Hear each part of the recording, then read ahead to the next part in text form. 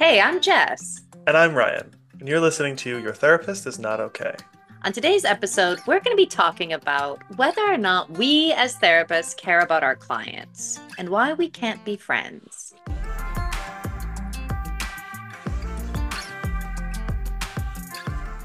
Does my therapist care about me? This is a question that we get asked a lot.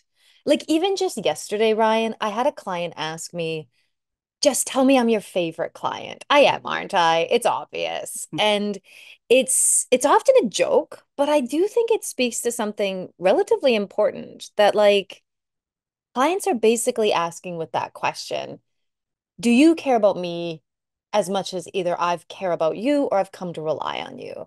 So it feels like it's constantly in the air once once we get to a certain level of relationship with clients. Yeah, and it's kind of an interesting question about like, is there, is this a mutual relationship? Because in most cases, it's very likely that the therapist someone's been working with for a long time, is working with right now, is probably their favorite therapist. That's not 100% of the time. No. People have had many different therapists sometimes, but there is so much investment from the client into this relationship, so much trust and care and listening um, to what their therapist has to say that it, it just kind of is a very natural question, I think. Absolutely. Yeah, it's something that's going to come up and they're probably going to think about. Yeah. Do you care about me? Yeah. Jess, what did you say when your client asked you if they were your favorite? I I'll be honest. I it's not something I let clients off the hook with. Hmm. Um, because a lot of times I find that it starts as a joke, but it's usually deeper. hmm And so with with this particular client, we went deeper. Hmm. And I brought up a couple questions for them to maybe consider. The first thing I said was, I think this is the first time we're really bringing our relationship into the room.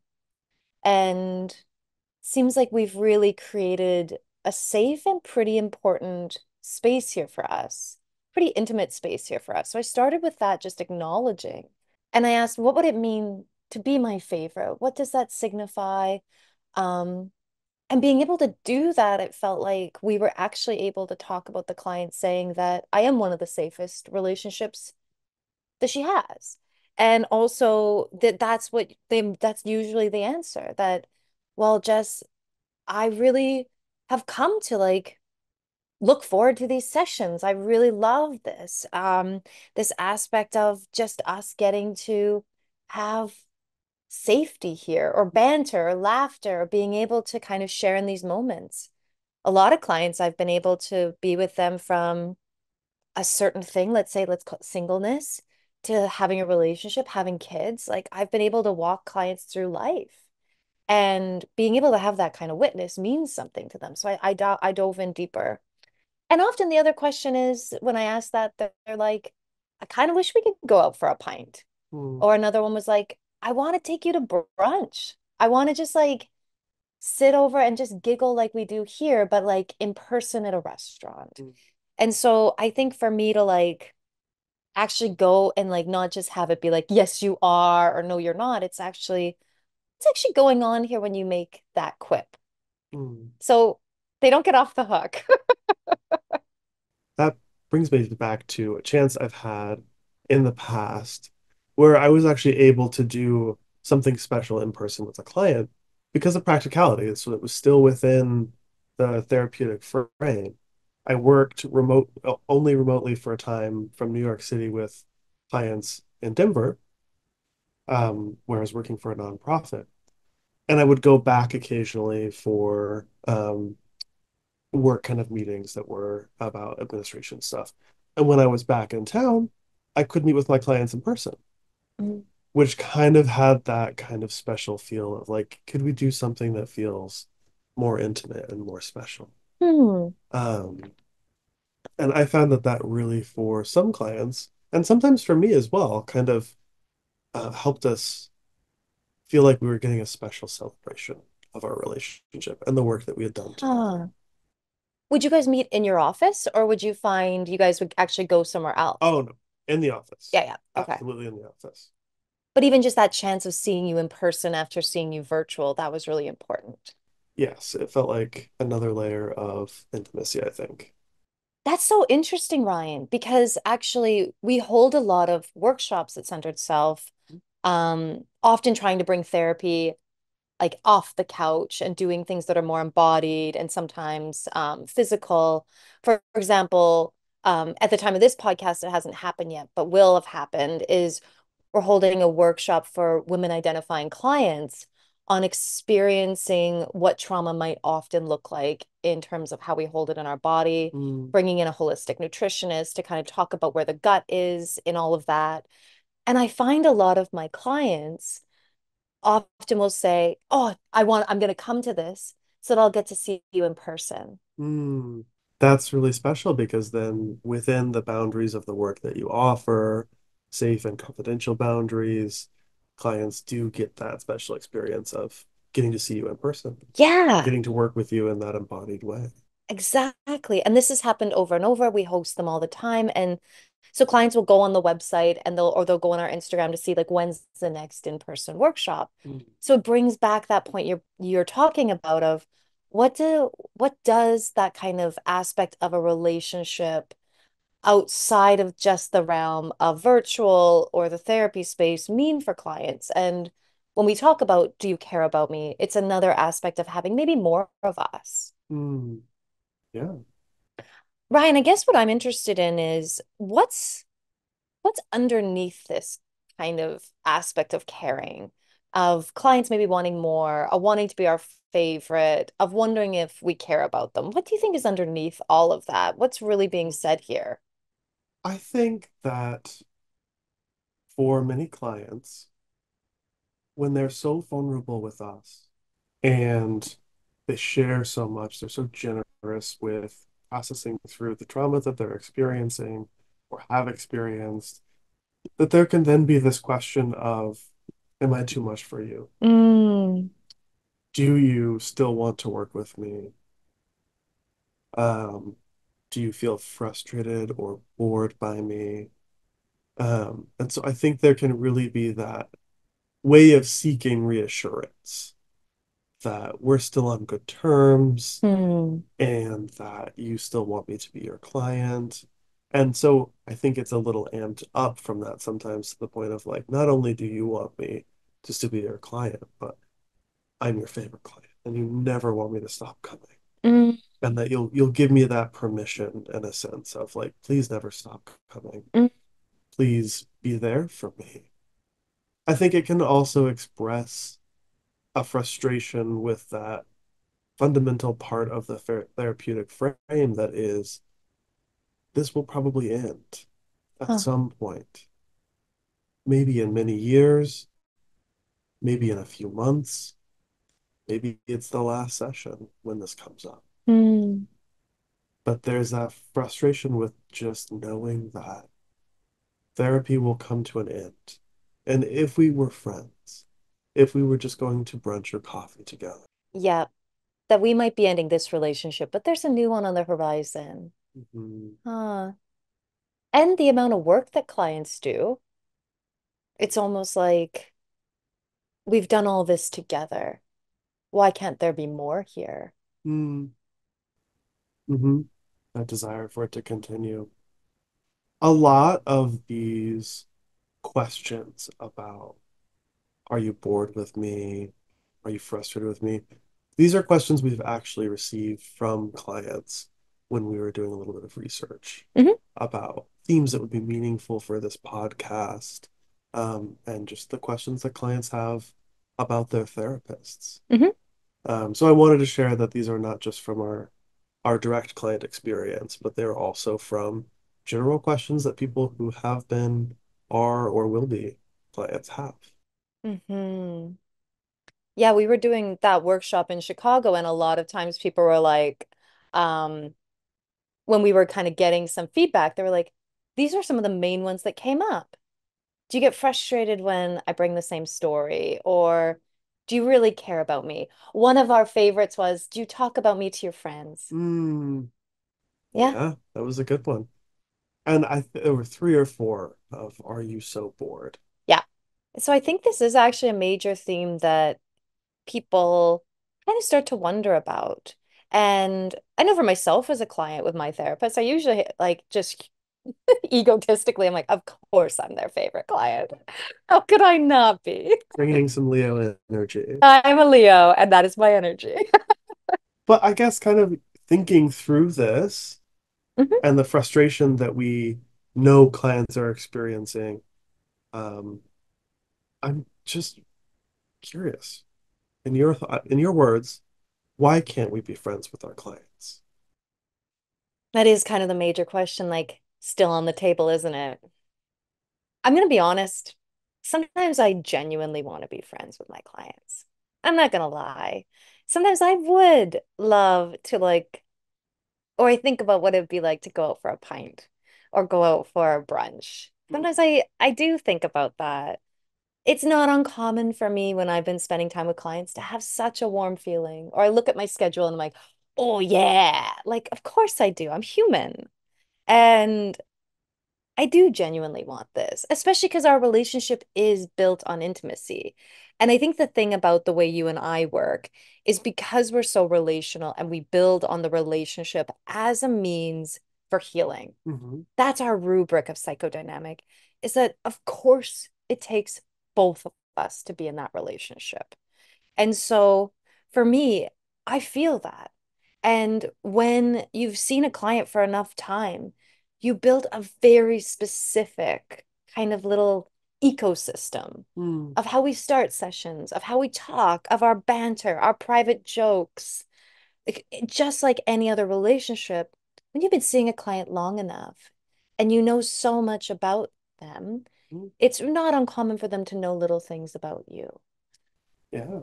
Yeah.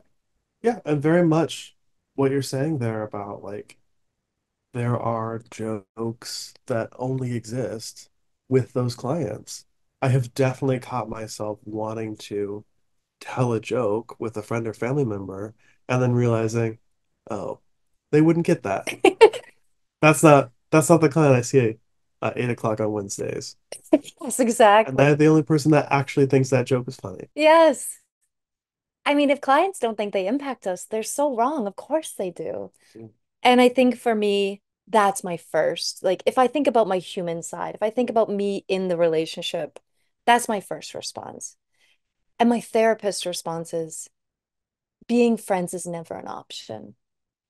And it can't be because there's so much power in this relationship. Uh, this past week, as you well know, I hurt my eye. mhm, and clients have kind of had to see it because I didn't stop client work. I was nervous about what they'd think. They didn't care. They just made sure I was okay. And I was fine. It just was a bit unsightly. mm, And then this week, seeing clients, so many of them are like, you looking better. Like your eye looks like it's getting better. Like there's that part that they'll get of me, but they won't necessarily know all the nuances of things that are happening in my life. mhm, There's a power there. As much as they get me, they don't necessarily know all the nuances of who I am, of what I'm going through, of things that are are mine. And that's necessary. It creates this level of power in the relationship that I think is really important, that I'm here for you that my role is to hold your story, to care, to be there, to challenge because the care is there. And because of that, the relationship is built very specifically on me being the one that you bring things to. And so it's not friendship, it's intimacy, it's care. And so, because of that, for one hour a week, or two weeks, a client gets to have a space that's theirs, that they get to work through things in their time, and they have somebody that's walking alongside them. And in that sense, it's so intimate, but it's not because it's an equal necessarily a relationship. right. And something we've talked about before is as well as just knowing that, and sometimes sharing with our clients that if we were friends, we couldn't offer them the same thing. We're friends and Mhm. we're not each other's therapist. No. We can't give each other. We can be caring, Mhm. we can be loving, we can be supportive when we're going through transitions, but not the same way as a therapist can, because they have to have, we have to have Mhm. one foot in the client's world and one foot in our world. Yeah. So that we can offer different perspectives.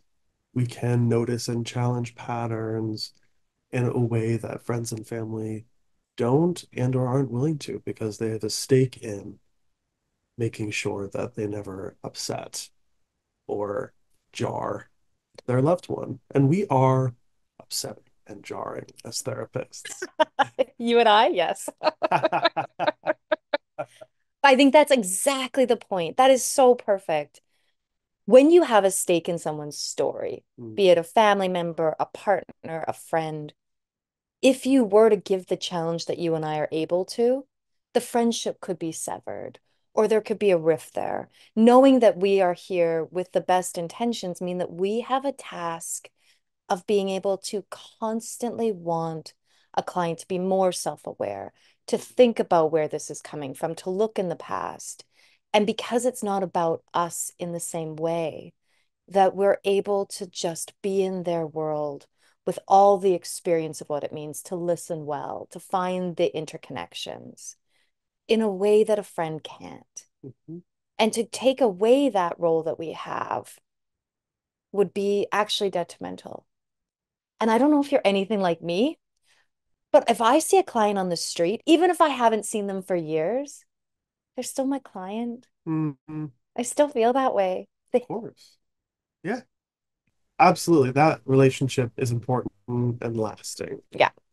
And that's also a really important reason why we can't switch to friends after therapy ends, is because both the therapist and the client have to continue to hold that sense of the other person being in the same relationship with them. Mm. After therapy ends, our clients get to take us away. Mm. maybe as just that little voice in their head sometimes, which clients sometimes share with me. And they're like, I was so annoyed. I was having this fight with my partner. And then I heard you saying, What if you shared how you felt? And it's infuriating, but it's there and it can help them at times Yeah. to process through things and and within themselves take those third perspectives that help them to grow. But now they get to be the origin of that. Yeah.